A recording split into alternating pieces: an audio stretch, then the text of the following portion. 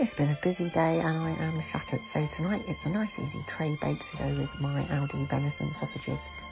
Roughly chopped up my selection of veg, put them on a tray with a tablespoonful of oil, and tonight I'm going to try the Old Bay seasoning that I got this week in Aldi, once I figure out how to open it, which took a while.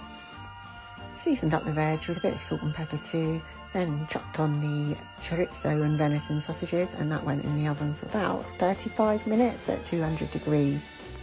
Then I thought I'd have a go at making a dressing with some cottage cheese. Blended that up with a half a pot of water, a splash of lemon juice, a teaspoon of Dijon mustard, uh, salt and pepper, and a little bit more of that Old Bay seasoning. It passed the taste test. Then I microwaved the pouch of quinoa and plated up the sausage and veg with the cottage cheese sauce on top.